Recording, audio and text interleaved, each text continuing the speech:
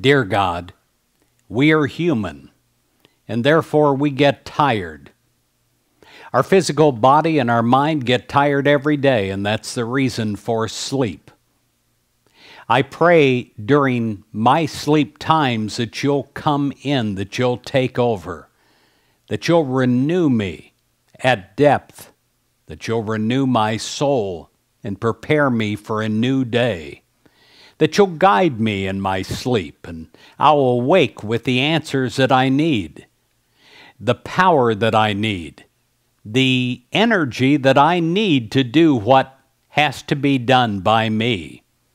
And then when I awake, I pray that you will give me new strength, that I'll have a new strength of outlook, that you will give me a new outlook, a positive outlook, where I will know that I will know without doubt that what needs to be done can be accomplished and with success. That I will have a new energy springing up inside of me I pray, God, that you'll come through and strengthen my mind. I no longer want a weak mind. I don't want a mind that is wavering between the negative and the doubt and the fear. I want a mind of strength, a mind that knows no matter what is happening outside of me, I pray for that strength inside of me so that I will keep on keeping on and that I will walk towards my success.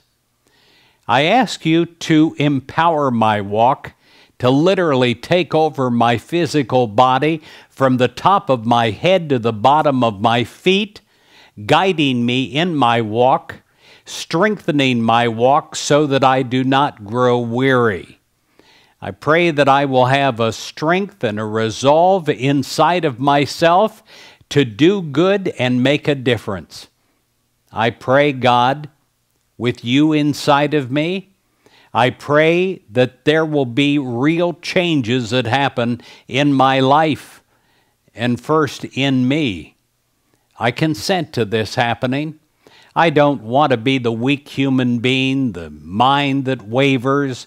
I don't want to be a person that's weary and tired all the time. I choose and I accept new God given life and strength. I choose and I accept in my free will a new resolve in every cell of my physical body to be a person that is strong, a person that has great resolve, a person that never gives up.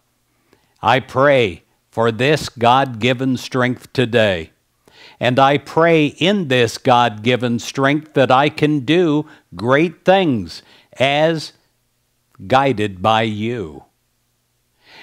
I do it all to your glory, God.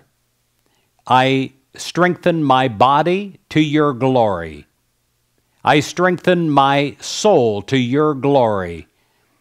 I strengthen my mind to your glory. In Jesus Christ's name, Amen and amen.